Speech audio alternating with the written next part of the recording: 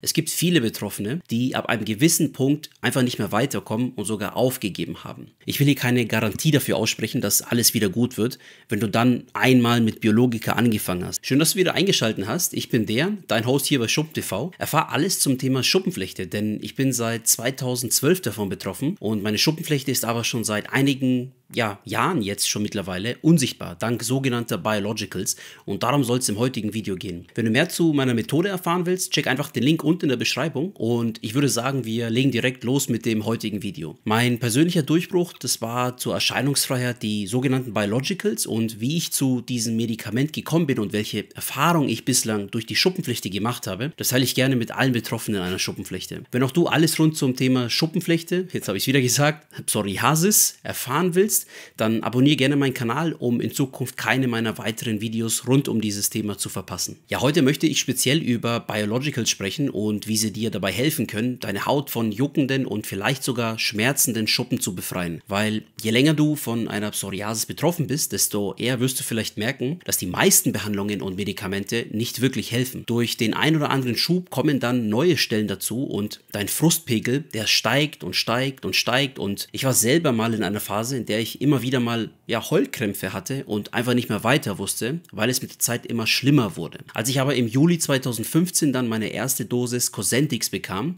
änderte sich mein Leben tatsächlich schlagartig zum Guten und ich konnte mich wieder völlig unbekümmert auf mein Leben konzentrieren und ich war einfach nicht mehr diesen lästigen Blicken und diesen nervigen Fragen ausgesetzt. Falls dein Dermatologe dir keine Biologika verordnen will, Behandlungen mit MTX oder Fumaderm aber schon gescheitert sind, dann bist du da tatsächlich nicht ganz alleine damit, denn es gibt viele Betroffene, die ab einem gewissen Punkt einfach nicht mehr weiterkommen und sogar aufgegeben haben. Wie gut jetzt Biologicals anschlagen, das hängt aber auch immer von der einzelnen Person ab. Also ich persönlich hatte Glück, dass Cosentix gleich als erstes Medikament sehr gut gewirkt hat und meine Schuppenflechte fast unsichtbar gemacht hat. Es gibt allerdings auch Fälle, da lässt die Wirkung schon nach wenigen Wochen oder Monaten nach. Oder die Wirkung, die setzt erst gar nicht ein. Oder aber man verträgt es dann doch nicht so gut wie vielleicht gedacht und man muss halt einfach abbrechen. Ich persönlich hatte mit keinem der fünf verschiedenen Biologicals, die ich bislang genommen hatte, irgendwelche Probleme, was jetzt so die Verträglichkeit angeht. Was aber die Wirkung angeht, da habe ich festgestellt, dass manche meine Schuppenflechte sogar wieder schlechter gemacht haben. Mehr dazu aber später. Lass uns ganz kurz darüber sprechen, was Biologika überhaupt sind. Das fragst du dich vielleicht. Und dabei handelt es sich um synthetisch hergestellte Antikörper,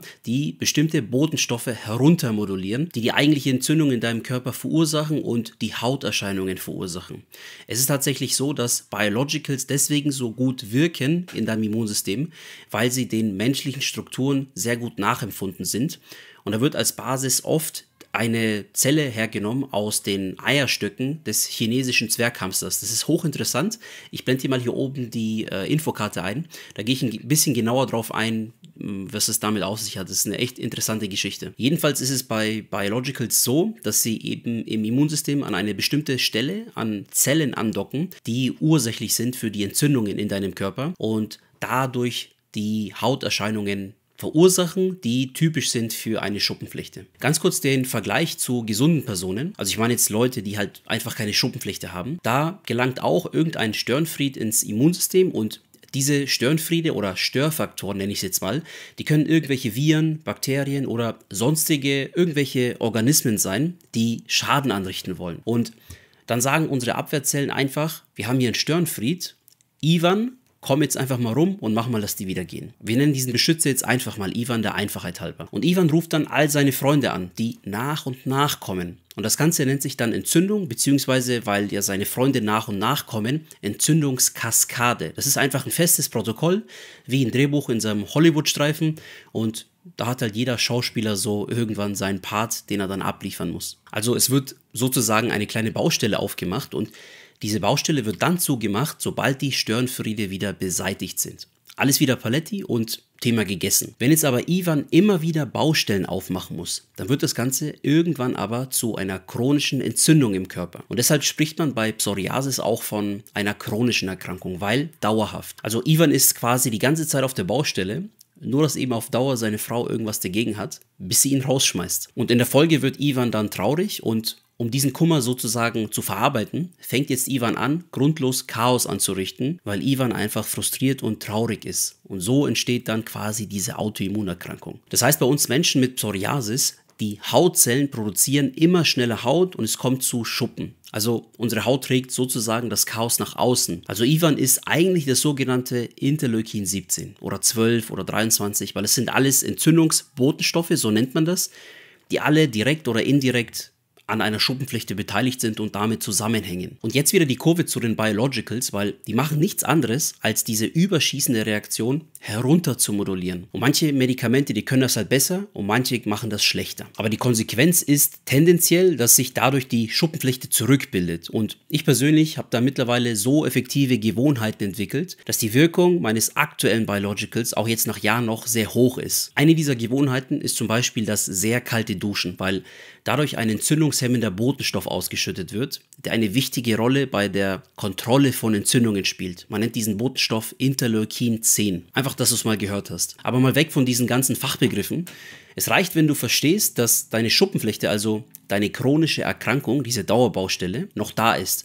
Aber sie bricht nicht mehr aus, wenn Biologicals sehr gut anschlagen, sodass deine Haut irgendwann wieder ganz normal aussieht. Und wenn du dich aber ausschließlich auf das Medikament verlässt, das ist ganz wichtig an der Stelle, und quasi Kunde des Monats bei Burger King bleibst, dann kannst du die Uhr eigentlich danach stellen, dass nach ungefähr zwei Jahren die Wirkung irgendwann nachlässt, wenn es nicht schon früher der Fall ist, weil dein Immunsystem einfach irgendwann nicht mehr mitmacht und du durch dieses permanente schlechte Essen und so weiter und diese schlechten Gewohnheitsumstände, diese Lebensumstände einfach, wie soll ich sagen, ja, deinen Körper schadest und er wird mit der Zeit immer schwächer. Das mit diesem Erfolg durch eine Systemtherapie, da bin ich jetzt mal bewusst eher vorsichtig, weil ich will dir da nicht im Vorfeld irgendwelche voreiligen Hoffnungen machen, weil es ist nicht einfach so Plug-and-Play-mäßig, dass du das ja, dir einverleibst und dann wird alles wieder gut. Also ich will hier keine Garantie dafür aussprechen, dass alles wieder gut wird, wenn du dann einmal mit Biologika angefangen hast. Das entscheidet tatsächlich immer noch der Arzt, wann es dann losgeht mit der Systemtherapie. Trotzdem, und das will ich dir in diesem Video sagen, einfach weil ich mich verpflichtet dazu fühle und auch der Tatsache geschuldet, dass ich halt jetzt schon seit über zehn Jahren wirklich Erfahrung habe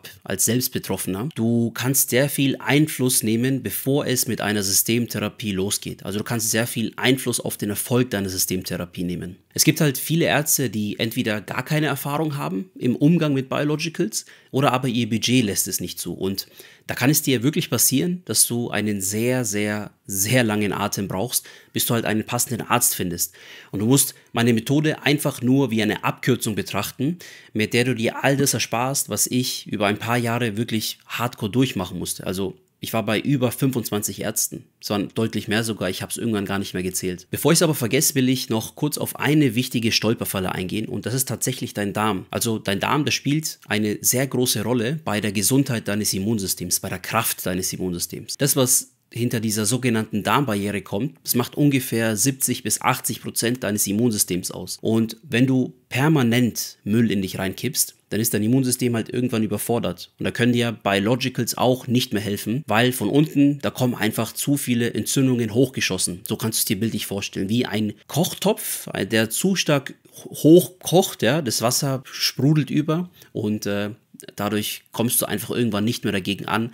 Da hilft dann irgendwann auch kein Medikament mehr. Das muss dir einfach bewusst sein. Und dann gibt es auch noch viele Fälle, da liegt einfach klassisch Übergewicht vor. Und da wirken halt auch die teuersten und besten Biologicals überhaupt nicht. Also da ist dann wirklich deine Eigeninitiative ab einem gewissen Punkt gefragt. Denn auch durch zu viele Fettzellen werden Entzündungen angeschoben. Und Fettzellen, die machen halt einfach nichts anderes. Die machen nichts anderes als das Verursachen von Entzündungen. Aber wir haben ja in der heutigen Zeit auch Glück, weil es gibt ja ab jetzt auch Body Positivity. Und da ist ja, ja Übergewicht nicht mehr so schlimm. Da ist es ja eher was Positives. In diesem Sinne, bleib negativ und ja, wir sehen uns beim nächsten Mal. Dein Dern.